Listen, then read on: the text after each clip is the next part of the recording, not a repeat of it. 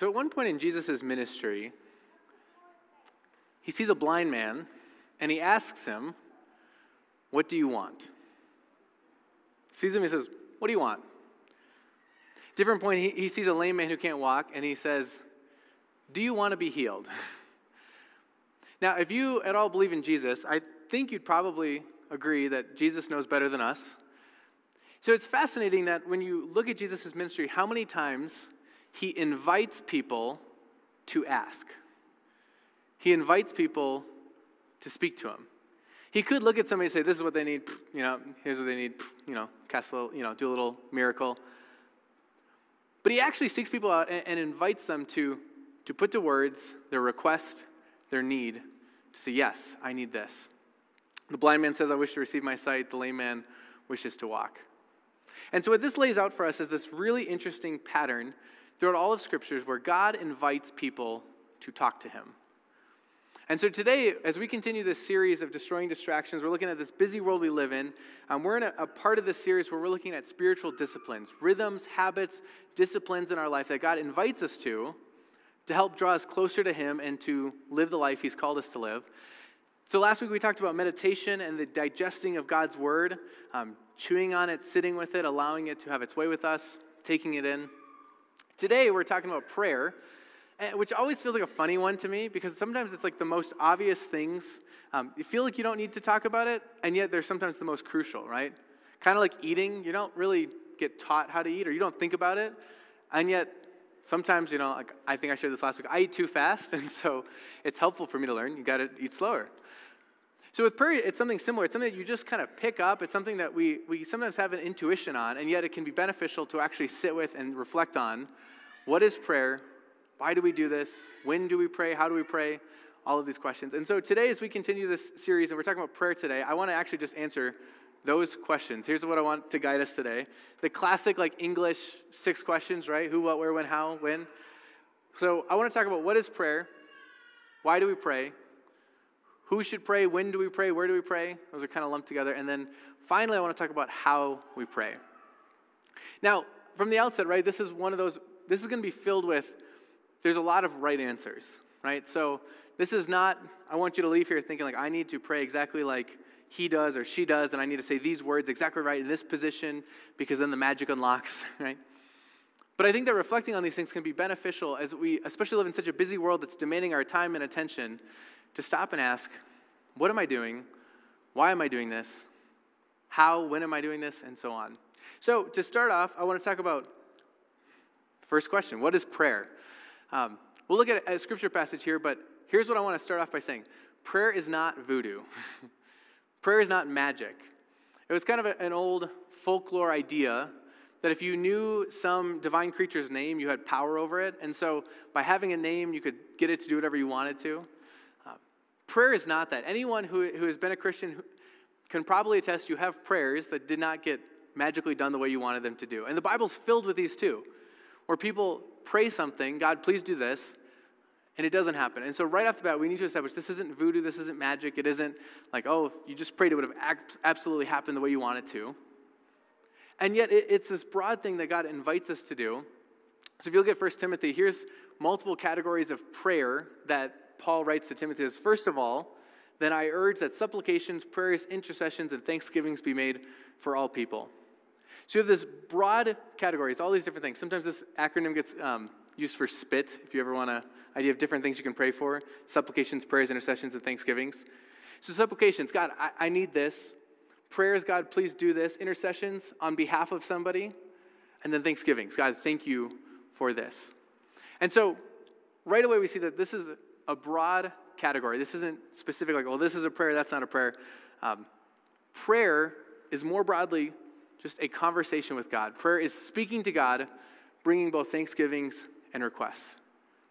So, this is why th- this one of all the disciplines is so instrumental because, like, what we're going to, some of the disciplines we'll talk about in the future, that can be helpful, and I'll, I'll encourage you to try them. But prayer is foundational to the life of a Christian, and actually, it's foundational to living as a human being the right way.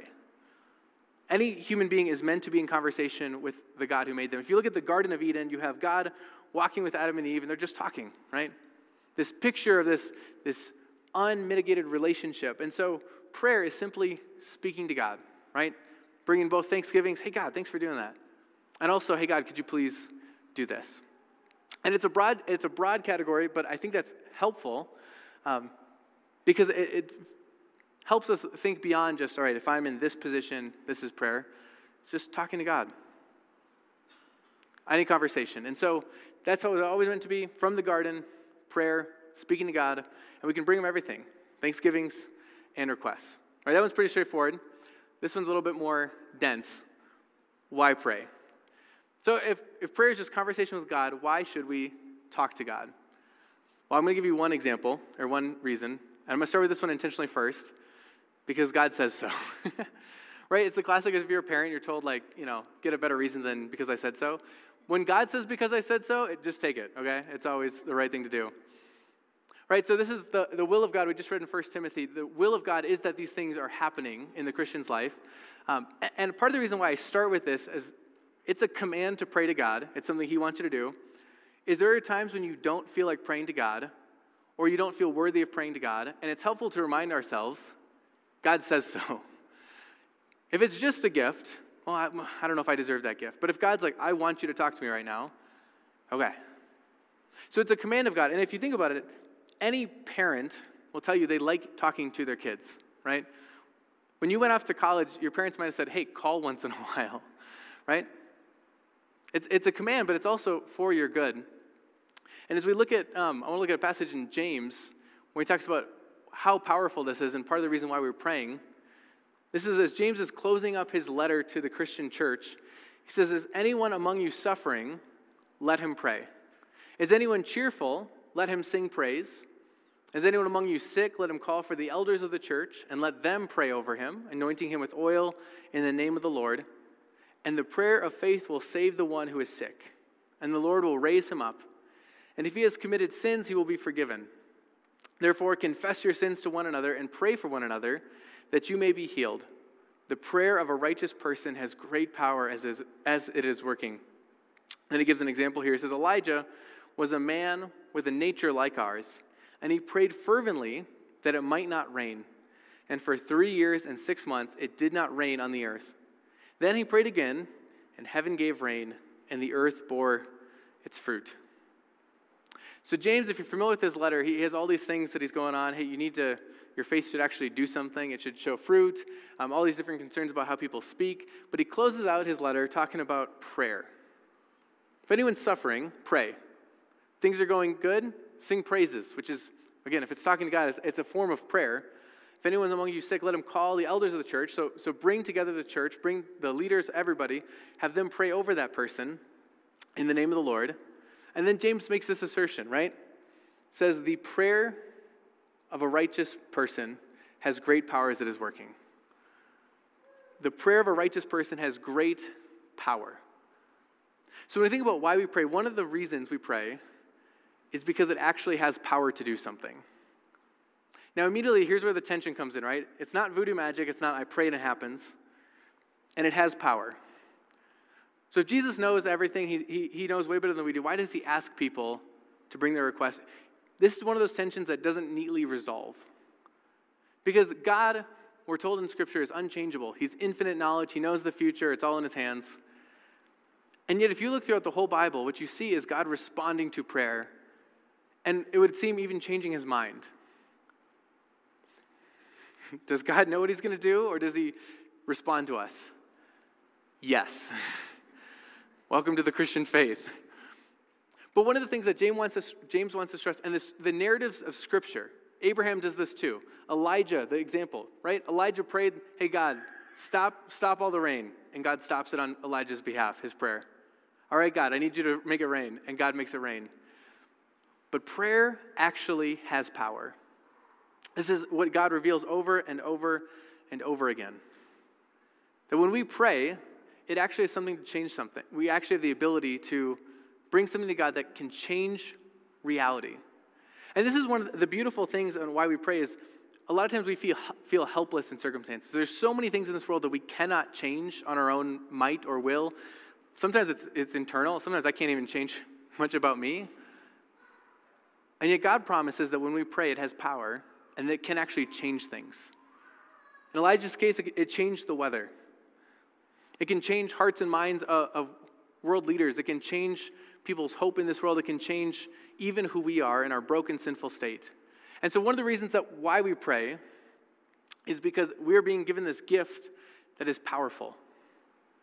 We're being given this, this tool, this blessing, to actually come to the God who holds everything and actually influence it. So if you have like a world leader, right, they have like a cabinet, like these are the people who get a seat at their table to like say, hey, you know, I've been talking to the people of this region, I think we should maybe enact this policy. And this is one of the reasons why we pray is it's a gift to get to sit at God's cabinet, right? To have a seat at the table and say, hey, God, you know, I was looking around and I think this person could really use you, right? My neighbor who's going through a lot, could you please just calm their heart a little bit? Like, how amazing. And this is part of the gift you think of in the garden, right? Adam and Eve are walking with God, they're talking with Him, and then all of a sudden, sin enters the world and this relationship is broken. And part of the good news is, of Jesus is that when he went to the cross and he rose from the dead, that cross became a bridge to restore that relationship. All of a sudden, this separation of God and heaven and, and people on earth was shattered, and, and heaven came down, and all of a sudden, the conversation starts up again, like a broken relationship. So, why we pray? We pray because God wants us to, as a parent. Um, we pray because it has power, and we pray because it's a gift. What a beautiful blessing that we don't have to sit with the burdens of this world in our own hands. When I'm going through something, when I'm, when I'm stressed, when I'm wondering how in the world is this going to resolve, we can pray. Say, God, I, I, give this to you because I can't fix it. I remember I went on a trip um, to Israel a handful of years ago, and when we were over there, there was um, we got to hear from a lot of different people about the current conflict, and this was before some of the even recent developments. But I remember I was just getting so overwhelmed by it. At one point, we were, I was kind of debriefing with some friends, and I was just like, I don't know how in the world, what, what's going to happen? And one of my friends was like, PJ, that's why you're not God. Please give it to him. and it's amazing, though, we get, we get so caught up and, and overwhelmed by what's happening that we forget that's one of the blessings. God has actually given us a chance to come to him and say, God, I can't fix this, but you can. I'm going to give it to you. And, and trust that it has great working. Doesn't mean you automatically get what you want, and yet we can trust it's going to do something, and God can do something with it. So, what is prayer? It's conversation with God. Why do we pray? He commands it, it's a gift, it has power. Um, who, when, where? Okay. Answer everywhere, right? Um, answer all the time. In actuality, though, this is from 1 Thessalonians. This is Paul's letter to the church in Thessalonica. He says, Rejoice always, pray without ceasing, give thanks in all circumstances, for this is the will of God in Christ Jesus for you. So, again, this is the will of God. He, he wants you to do it, um, but it's good. So, always rejoice, without ceasing, pray, and give thanks in all circumstances. So, the short answer is when, where, all the time, wherever you're at, as long as you're a Christian, you have this opportunity to pray. Now, I want to get real specific here. So, this means, right, so if, if prayer is conversation with God, this is one of the beautiful things. When you go back to that garden image, people just walking with God.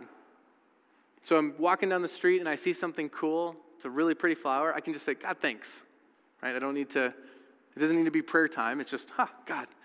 As I'm just sitting there thinking, as I'm going into a meeting and I'm not sure how this is going to go, I can just say, God, bless this meeting all the time. And so it, it's just a life. And, the, and, this is where, again, when we think about routines, um, there are people in there, um, that we go to when we're stressed. Like for some of us, it's like a sibling. Like I know people who it's like my sister is the person. Like whenever something comes up, I call my sister to talk about it. And the same way as we build this routine and talking to God, it's whenever something comes up, I'm just it's just a habit to say, God, thank you, or God, please help this. So it's, it's this every all present wherever we're at opportunity. This is the beautiful thing about God's omnipresence, that He's everywhere, is that you're never apart from God. You don't need to quickly run to your prayer room, you're right there. However, there are helpful times where we routinely gather or we build into our life as prayer of prayer. So for instance, as you'll notice, every Sunday we pray. Right? So one of the blessings is to pray with other Christians. And so we on Sunday when we're going to gather around God's word, we are going to pray. If you ever come here and you get out of here and we didn't pray, please I was going to say punch me in the face. Maybe don't do that, but let me know. Raise a little hand or something. Um, no, stop. But it's one of the things that we do together, one of the things we do corporately. It's one of our responsibilities to the world around us is we're going to pray for this world and ask God to take care of it. We're going to pray for the needs of one another. We're going to give God thanks and praise. Um, you do this also, this is where, again, a lot of this stuff is not mandatory but helpful, right? When, so when Paul talks about not all, all things are permissible, that doesn't mean all things are beneficial. That could summarize a lot of spiritual disciplines. There's a lot of ways to do this. So part of our challenge is reflecting on what is the most helpful. So, when do you pray? Um, who do you pray with? This is where I find it very helpful to have a bit of a routine. So, for me personally, I pray in the morning, and if I miss that, sometimes I'll be like, I'm just going to quickly do these things and I'll get back to prayer. I almost always never come back. I just like blow past it. We're such creatures of habit. So, it is helpful when you think of when to pray. You can pray at any point, any time, all circumstances. But also building in time where I know this is where discipline comes in, where this is a time to pray. As a family, this is, this is one of the reasons why um, a lot of times churches will have like household, like morning prayers and evening prayers or meal prayers, right? So there's a routine to it. I know one family, they pray every time they drive. So it's before you back out of the driveway, we say a prayer. And they'll ask, you know, hey, which kid wants to pray today? Um, but the, I, the, the mom was telling me one time, they actually started, she was flustered. She's like, we got to get somewhere. And she put in the car in reverse, started to back up. And the kid goes, stop. She's like, what?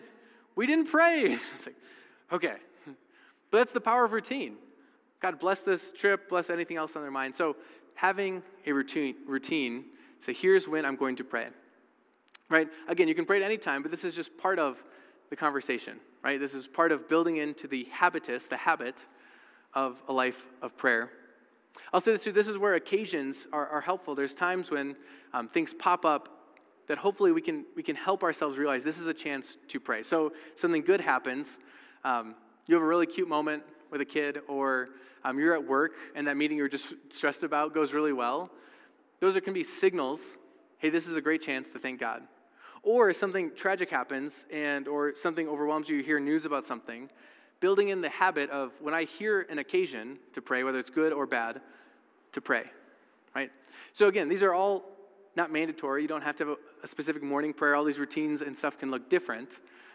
But thinking about when, creating patterns, and thinking about these different times when we might want to do so.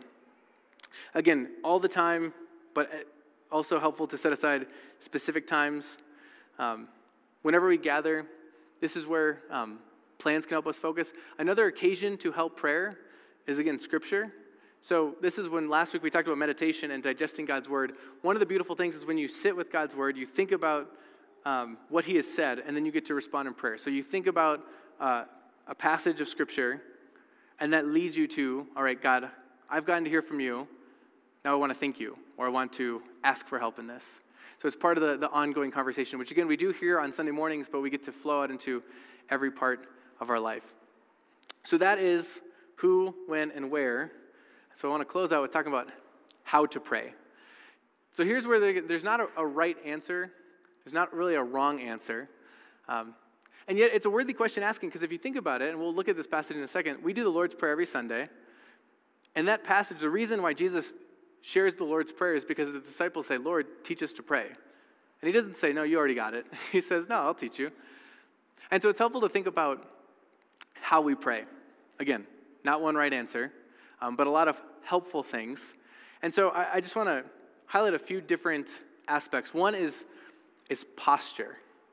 Again, not one right answer. But if you've noticed, there's times when you might be sitting and praying. There's times where you might kneel and pray. There's times where you might be standing and praying. There's, you could fold your hands, you could open your eyes, you can close your eyes, you can bow your head. Um, and all of those, what those are doing are, are different aspects. They're helping you to embody what you're doing. So when I bow my head, as we sang, I'm reminding myself that I need the Lord, that He is my Lord. And I'm folding my hands. It's, it's maybe sometimes so I'm not fidgeting too much. But you could grab like some, some beads or something to, to kind of hold on to while you're, you're praying. Um, you could have your eyes closed, so you're not seeing stuff, or you could be looking at scripture or a picture of Jesus or um, something. It could be helpful. Or if you're going for a walk and you're looking around at the world as you're praying for it. So posture is something where this is what's really cool is it's unique for everybody and you can find what helps me in this conversation? Especially as we talk about a world full of distractions, um, there's a lot of things that are trying to take our attention. So, are there practices that I can implement to help me with the distractions? So, I'll just, here's just personal anecdote. I find it helpful to be kneeling because when I'm kneeling, I'm less likely to wander off in my thoughts. I don't know what it is. Maybe it's the ache in my knees that's like reminding me what I'm doing. Um, I'll tell you the worst place for me to pray, and I used to like this is my prayers used to always be in bed at night, um, and I still some you know again sometimes I'll be in bed and I'll remember something I'll pray, um, but I knew it was bad when one time I was having a really restless sleep and I like couldn't fall asleep, and I was like, if I started praying, I bet I would fall asleep right now. It was just I had such a, a terrible pattern of if I'm praying at night, I'm just gonna doze off. Like that's just the pattern. So thinking, are, are there things that I can do in how I um, posture myself? That help. Not one right answer, but are there things that I can be doing very practically um, to help assist in my goal? If my goal is conversation with God, if my goal is to bring the needs of myself and my loved ones and the people around me to give God thanks and praise, how does my posture reflect that? Right? Do I want to put my arms out so I can symbol that I'm receiving good gifts from God? Do I want to bow my head so I can remind myself that I am um, just a worthy, not even worthy to be a peasant in his kingdom, and yet I'm here as his child.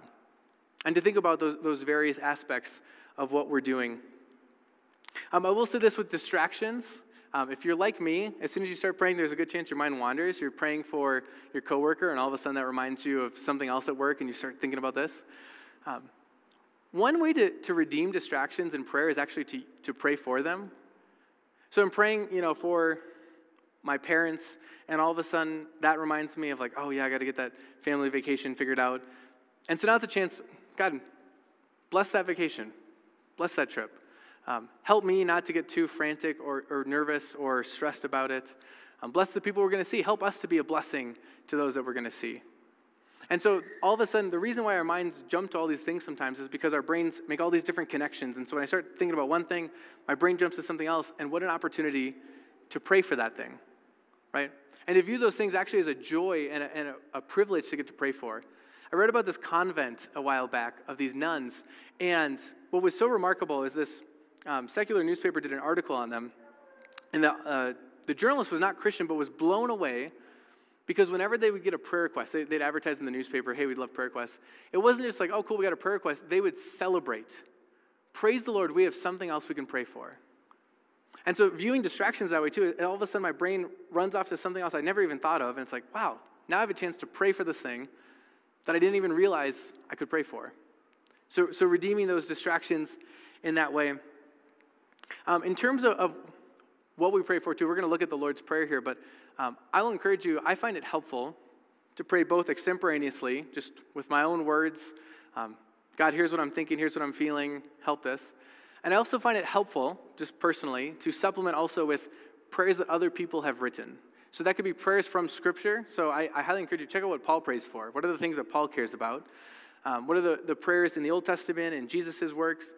Um, uh, if you have a prayer book, you can just Google collects. If you ever like you have something coming up, like Memorial Day, it's like collect for Memorial Day, and I'm sure there's people who have written prayers on these things. One of the things I find helpful about that is they give me words that I would otherwise not think to speak, and they give me things to pray for that I otherwise would not think to pray for. Now, again, I still pray extemporaneously too. It's just, I find those a helpful combination. And so I encourage you to check that out. If you need resources, a prayer book or something like that, um, let me know. But I find that a helpful supplement in how we pray.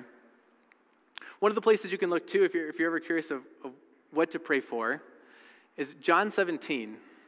One of the remarkable things, we talk about Jesus and he invites people to ask him questions and invites people to come to him, is Jesus himself does pray to his Father as well and I find it fascinating what he prays for. So if you're familiar with Jesus' last night when he's going to be betrayed, he's going to be handed over and going to get crucified. All right, so there's the one that we, we probably, most of us know very well. He's in the Garden of Gethsemane and he's praying, Lord, let this cup pass, but not my will, but your will. But also in John 17, we have recorded what's called the high priestly prayer, where Jesus actually spends his final night on earth before he's died, before he's killed, praying for his disciples and praying for you. Jesus, with everything, the, the whole weight of the world coming upon himself, he spent time praying for you. He prays for his disciples and, and, says, Father, I've not lost any of those that you've committed to me, and I'm also praying for those who will believe because of their words, you and me.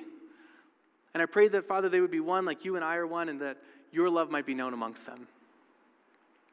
How beautiful that Jesus, again, with, with all things in his hands, said, You know what, before I die, I need to spend time praying for you and for me so that they might know the love of God. And then he would go, again, making that bridge between heaven and earth just shortly later, amplifying, showing God's love by dying on a cross, sacrificing himself, and then rising victoriously. So again, it's one way, one place to look for. I encourage you to to look at these places. Um, but I want to, as we reflect on this, close out. I want to go to Jesus' own words when the disciples ask this question in Luke 11. Now Jesus was praying in a certain place, and when he finished, one of his disciples said to him, "Lord, teach us to pray, as John taught his disciples." And he said to them, "When you pray, say." So again, this is in response to a question Jesus, how do we pray? Can you teach us? John the Baptist, his disciples were taught. Um, and so this is a chance for us too to be reminded this is a teaching prayer. And so I'm going to I want you to take note. So first off, this is a prayer that we say verbatim every Sunday, and it's good, and it's, it's a great unifying prayer for the church. But it's also, Jesus is teaching what to pray for, how to pray, right? How do we pray? When you pray, say these things, pray about these things. So just looking at the Lord's Prayer. Our Father who is in heaven. Now, first off, that's not a request, but that's just the opening. Again, this is where it's, it's amazing. If you think about Jesus as the king, you're at his cabinet, and we get to invite, call upon him as our own father, right? As children. Um, if you ever feel like, man, I don't know if you've ever, you've probably, well, if you're like me, you felt this. Um, again, when you don't feel worthy to going to God, and you're like, man, I haven't even, like sometimes you, you realize so much later, like I should have been praying this whole time, and I didn't. You almost feel guilty now, like bringing it up, like I don't deserve it. This is where Jesus and the prodigal son is so helpful when he tells the story about the son who swears off his dad, Dad, you're as good as dead to me, goes off, blows all of his money, lives a terrible life. And then he comes back thinking, like, maybe if I beg, I can become a servant. And his father sprints to him, right? When we come to God, it's like a father who sees his, his child. He's never going to be like, oh, man, you again?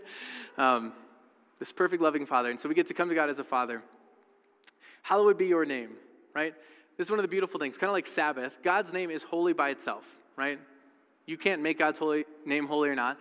And yet, what we're praying for, and what Jesus is teaching us to pray for, is that we would live a life that treats God's name as the holy thing it is. And this is where name is a really big thing. So, this is how we speak. How do I speak about God?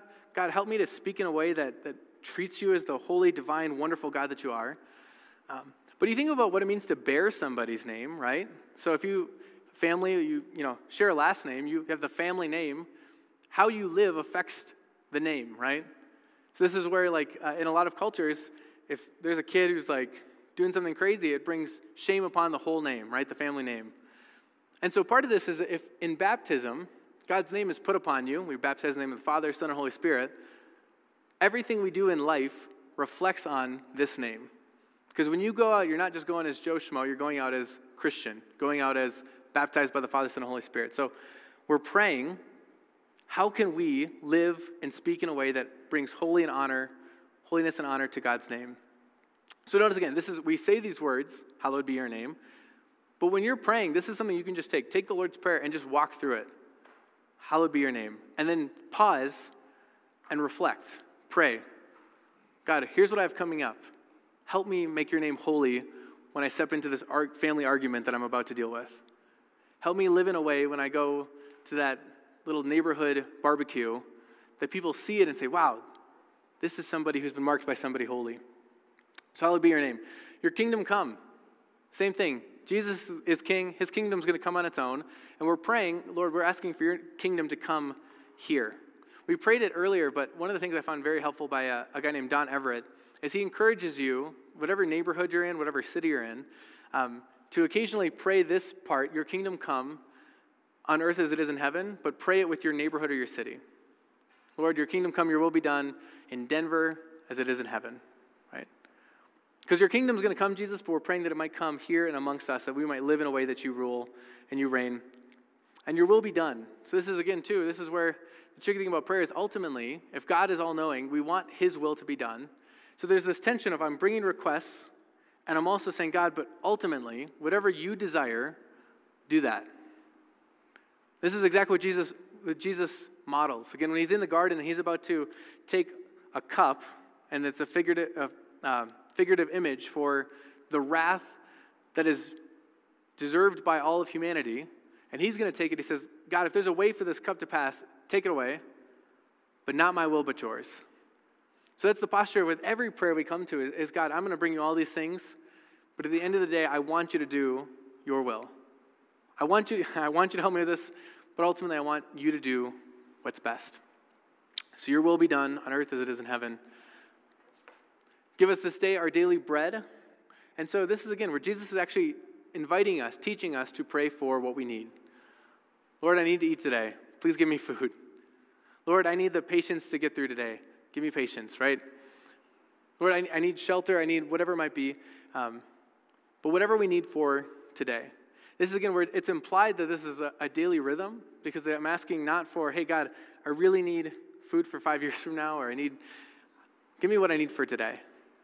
And so when you get to this part of walking through your own prayers, you can say, Give us this day our daily bread, and reflect. What do I need today? What is what is what do I need to call upon God to provide? Forgive us our trespasses as we forgive those who trespass against us. And so this is a two-parter, right? So we're asking God, forgive me. This is an acknowledgement, and this is where you can pause and reflect and confess, God, I've sinned in these ways, please forgive me. And help me to forgive those who have sinned against me. It's just a part of a package deal. This is again where forgiveness does not come naturally to human beings. It's not, it's not something we just instinctively do. And so, God, give me the strength, give me your blessing to forgive. Lead us not into temptation. Um, the Bible says itself, God Himself does not lead us into temptation. He's not going to tempt us, and yet there are all sorts of things that are. So we're asking God, protect me from temptation, protect me from the things that would pull me away from you, and deliver us from evil. All the evil in this world, the devil's forces, right? My own sinful nature, the influences around me, and so this is all a chance to fill in categories. Like these are headers that we can take and just say, daily bread, what do I need? Trespasses, oof, how have I sinned? Who sinned against me that I'm harboring resentment? Not into temptation. Here's the temptations I'm facing right now, I need help from. Here's the evil that I'm, I'm confronting. So, if, if nothing else, when you pray, I encourage you to look at the Lord's Prayer. When the, the moment when the disciples said, Jesus, teach us to pray, he says, Here it is. This is a gift and invitation. Right? Because ultimately, and this is actually not in the biblical account, but this is what the church has added as a kind of nice, tidy wrap up. We pray this every Sunday too. Yours is the kingdom and the power and the glory forever and ever.